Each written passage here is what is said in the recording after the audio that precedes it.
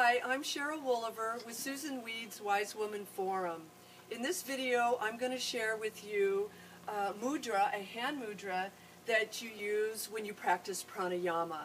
This mudra is called Ganesha, or the elephant deity, and it is to help to remove obstacles. We take the left hand, oh, please follow along as I'm demonstrating so that you can also learn. We're, we, first we take the left hand at the heart center with the sole of the hand facing away. The right hand comes on top. We slide the fingers down until they interlace. The right thumb pointing upward, the left thumb down. The hand gesture is at the heart center because we want to remove obstacles from our heart, working with that type of energy.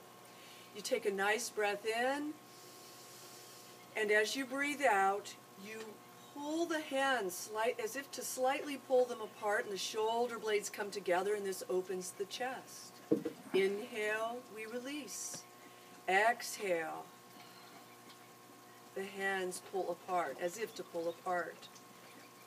We do this breath work, you know, as many times as whatever number is comfortable for you, at least five, six, seven, something of that nature. Then we release the hands, we place them on our knees, the soles of the hands turned up, close the eyes and come to natural breathing. And we sit here for a few moments just to clear the energy. And then we do the other side by taking the right hand at the heart center, sole of the hand facing away.